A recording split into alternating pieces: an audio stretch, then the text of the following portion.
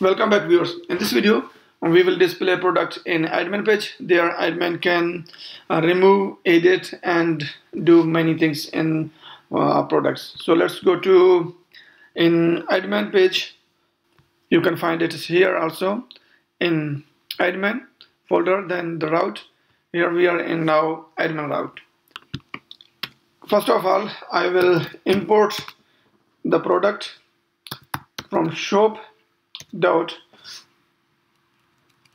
products dot models import add product. The name of our table which is here in product model. Uh, this is the table name. From this table we will fetch the record for admin. So now here I will make one restriction if user is not login, then he cannot go to admin page. So he must login first, then view admin site. So let's do it. If we are using with this email, if email not in session, then we simply first we make one flash message and this message will show him. Please log in first. Then the category of this I will make it uh, danger red and here we will give F.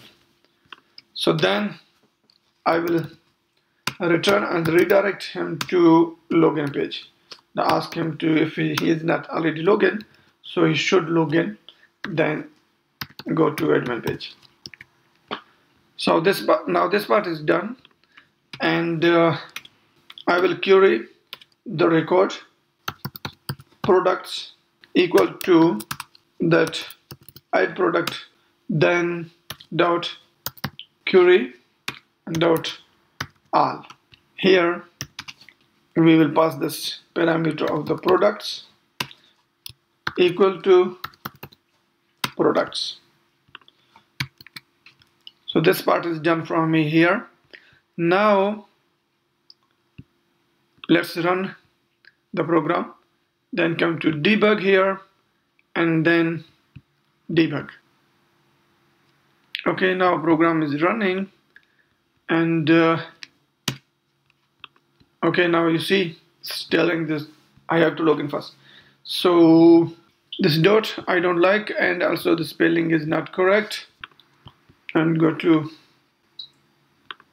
in the admin. This should be please. And uh, then come to your message and I will make them div I see this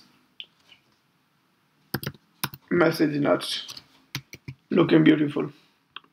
If I go again here like admin page I see there's no point. So I have to enter the, the password and username. So now you can see you are logged now. So we don't have here anything. So I will go to Google. Instead of typing I will get record from the bootstrap. And the bootstrap 4 go to first record here get start then component. And then I will look for the navbar first we will display one navbar I will display this one. Come here copy it. And inside the admin folder index index of admin. Here I will make one class of container and then I will paste snapbar inside here that container. And this should be here. Just admin just I will then inside here I will make one another container again. So dot container and inside here I will make one table table dot table. And this table class of table. And inside I will make this table dot sm will be small. Then inside here I will make one t head and inside this t head I will make th of uh, 8 and here will be serial numbers and uh, here will be product. And you can make it like a name. Then will be price discount I think. Will be good. Discount then brand and then here will be we will uh, display here small image. Then here will be for the edit and then here for the delete. I think these are enough for now. And then we will give it a t-body. And the inside t-body one tr and inside this tr we will give the table data td of same 8 and here we will run our loop. This for product in products and close here that for loop and for. So this for is coming from here from the root. This is that variable and passing this one. And now to display here first I will display here loop index then will be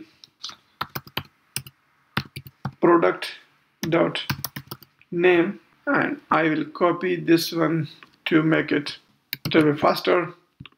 And come here paste paste paste. And here I will leave it now this one. I will leave it uh, edit. And then this one should be delete just I will give the name. And this one after product name we have uh, we have price and then we have uh, discount. And for the discount I will give also here the percentage sale and here we have uh, brand name. So will be brand dot name. And this brand is from product model here you can say we give the backref and the variable of backref. Take this one from like the brand, then the name of this variable. It's going like this. And this name from the product, then this name from brand. Okay, now after this, we will display here our image. We have to start with HTML image tag src and will be equal to and close it then here double quotation and inside the quotation we will use the url for and here we will pass that. Then we will pass the static folder here then comma then write here file name equal to whatever the folder inside the static then here my folder name is uh, image then slash and uh, plus. Then will be product and then the name of that image in your database. So in my case it is image one. I have three images for per product. I will display the only first image from here. I think we are good to go now. Let's check it. Come to admin page here. Refresh wow you can see. But the images are very very very big. This is a product name and price and this is discount. So let's make this image very small. I will give it width of equal to 30 and height also will be 30 I think. Will be good and 40 I think 40 50 will be enough. And make it see now. Everything is good but our brand is empty. I don't know what happened. I will give the table another class. This should be the table underscore bordered. Let's see. How is it?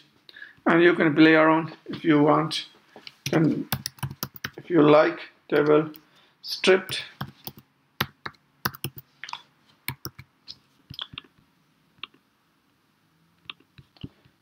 stripped. Okay. Should be like this. Now you see here it's gray. And uh, there are many things. I don't like this border. I will make this table condensed. I think this is something like this. For me this is good now here. And I will make here some change just for this container empty 5 so margin from top 5 yeah now it's I think it's looking good so we are good here so I don't understand why this brand is empty. Let's see. It shouldn't be empty in our product. Yeah here this name is brand. Here we give the name as correct name is brand. Then when we come to here when we added this one this name was uh, brand ID okay then brand coming from here. This brand get brand get brand. Is not coming from the form data form. It's not coming from here. This brand is coming from see the add product brand here. Okay so I forgot to put that curly brackets here. So this was the problem. So you have to put curly brackets in the value.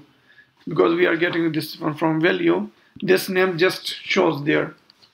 So save it to add one another product. So then we can see. Before the adding the product I will come here and copy this one. And paste it here so this should be the admin. Nobody should be allowed inside these fields. Now come to here and slash add product. The session name is not defined. Why? And here we have to import the session. Then go to again here and now we are here. MacBook Pro. And this price will be 1200 and this product has a zero discount. And uh, in stock we have 50 of this one. And uh, this is Apple. And category is uh, laptop. And here the color we will put here we will put here color will be gray then white and uh, and black just for demo purpose and here I don't know if I see some copy and paste something here so I don't care about the things. So this pink. I think this is uh, black. Then well, this gray. And here we can add pink also. Maybe. And now add. This was added here. And now you can see here this brand is here already. Brand apple.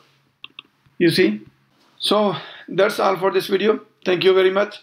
See you in next video. Take care. Bye bye